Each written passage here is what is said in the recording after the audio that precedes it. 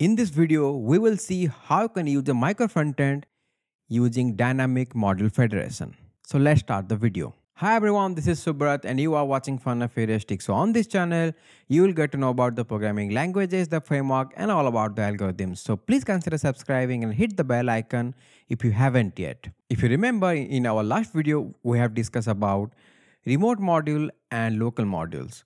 So the dynamic module federation here is on, on the runtime, you will decide which remote modules you're gonna fetch. And to the normal application, it's just like another route to a lazy loader component. That's all. And in this video, we're going to see how gonna use with NX. And the reason of selecting NX is most of the time, if you are creating a microfrontend application, it might be going to be a monorepo and NX Angular is built for that. You can create a monorepo. There are a lot of mm, things available. You can go deep onto NX, but here NX also gives us module federation built in. You can use module federation as well as dynamic module federation with NX. So to start an NX project, it's pretty simple. I will just show the commands in the screen and you can do it yourself because it's pretty simple. I'm not going to show you by coding that. The first thing is you need to install NX. So once you install that, you can go ahead and create an NX workspace. That is npx create NX workspace and your workspace name. So if you're creating a microfrontend application, you need two things, one microfrontend and one base application to run that microfrontend. In terms of NX, we call the base application as host. So for that, you can run this command, which is npx nxg at the nx slash angular colon host and your host name. And to create another application which will use as a microfrontend, we'll just run the same command but with remote flag on it. So it will be like this npm nxg at nx slash angular colon remote and you need to pass your application name and the host. Our host here is dashboard and you, you can have multiple hosts which can have multiple micro frontend plugged in. So then we'll go to our code then I will show you how things works and what I have done different to make things little efficient. So if you see here, this is the project created by NX. So we have created two application. One is dashboard and another one is login. Dashboard is our host and login is our MFEs, means our micro frontend here. So when you are starting application as a host, or as a remote. So what NX is doing is it's adding a module federation config JS to it. So if you open that, ignore it for now. I will explain this later in the video. So for that, what it's doing is, if you remember in our previous video, we discussed about remote modules. So you will say my application name is dashboard, which is the host application, and I will use remote module as login. So for this application, when login is called, it act as a remote module. And if you go to the remotes.d.ts, here we'll see that we have declared a module as login slash component. But if you start the NX application by default, it will be login slash module. So why I have given component? Because I am using standalone component to expose the component as a micro frontend, not the module. So by default, the NX approach is currently as module, but I have updated that to use our standalone component, which is quite famous. So you, you, don't need to worry about creating modules, wrapping them components and all, and we all going to see that. So one thing is checked that we have our module federation config here, which is saying that my name and the remote are the login and same login we have exposed it here so that when your router trying to access that it will not throw you an error. And I will just delete this and I will show you what the error will be. Similarly, if you go to the login, here in the login, it has created a module federation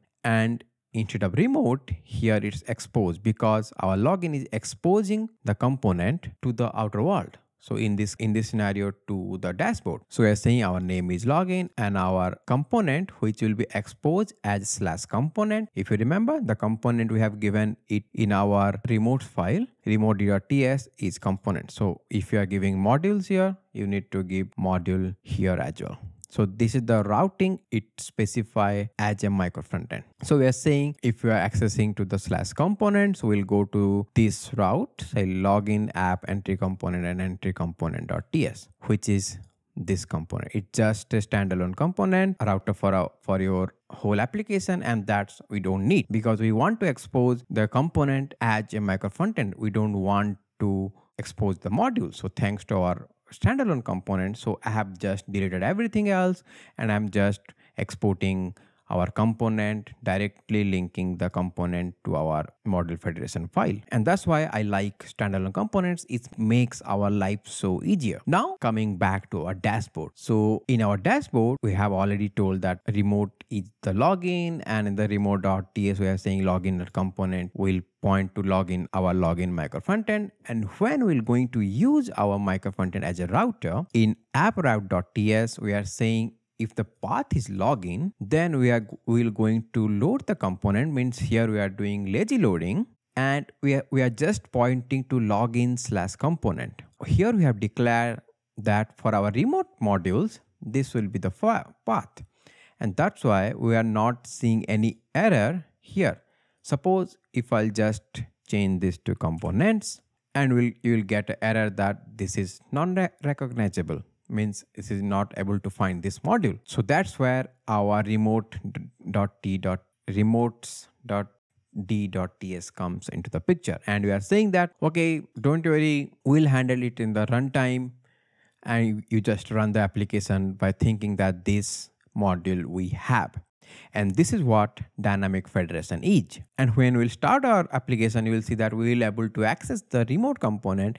Here is the micro frontend through just a route. So we'll start the application. So for that, we'll write npm npx nx server dashboard. So we're starting the dashboard and we are saying that dev remotes as login. So if you have multiple micro frontend, you can pass multiple application name here as well. And it will start both up application like dashboard and login. And by default, dashboard will runs on 4200 and login will runs on 4100 and if you have multiple micro frontend it will be accordingly. Now i'll go to our application. Here is already started. So i've just re refreshed. So we have added two url here and it's also added by default by the nx when i hit login you see that login is loaded and we are able to grab entry component js file as well and it's not that big. This is fine. So this is so low because we have a less content. It has only hello login. But if you have more content it's just a template file so this is what the power of module federation and how you can use dynamic module federation to load your application. If you are going to develop your application as a micro frontend way, this is the way. You should use module federation as much as possible. You should use dynamic module federation as much as possible and your application will run very smoothly and handling the projects will also be very smooth. Now you ask me Subrat, we heard that module federation supports package sharing. Like if you have a similar package, suppose you have Angular 16 in both of your project. If a version of your application is same and this will be remain same for Angular, React, Vue, whichever framework you have. If it is running on Webpack 5 and plus, you have module federation, you have dynamic module federation. So to share your libraries, to share your application, what you can do is what I have asked you to ignore in the starting of the video is this base config. So what I have done is I have added a module federation config which you can also find this on the documentation of NX. We have also added this one like Angular, Redux, NX, NGRX, anything you want to use, you want to share between your micro frontend and your base app, then you should do that. Else your bundle size will be higher. If you if you see here we have very few line of javascript code because because i have already shared angular with my host as well as the mfes means micro frontend so here what we are saying is these are my core libraries and we are saying shared inside share we are checking if the library which is coming inside if it is the core library then we are saying that singleton is true and we are saying versions should be strict and it should load only once.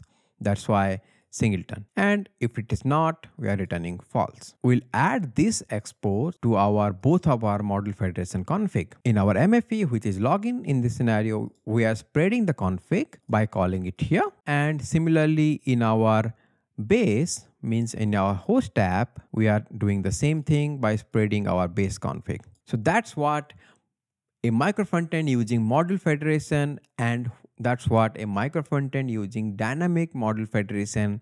And this is how you can use multiple micro frontend and use it inside your host app so that your managing of the project will be smoother because you have divided your different services to different micro frontend. Now different teams can work on them and they can release it independently. And when your base app will run, it will just goes and get that data on the runtime and render it on the user's browser. So please go ahead and use micro frontend with NX. But if you don't want to use NX for some reason, then please let me know in the comment section below so that I will try to make an another video how you can use dynamic module federation without using NX. So that's all for today. We're going to meet in the next video. Till that, stay happy. Bye bye.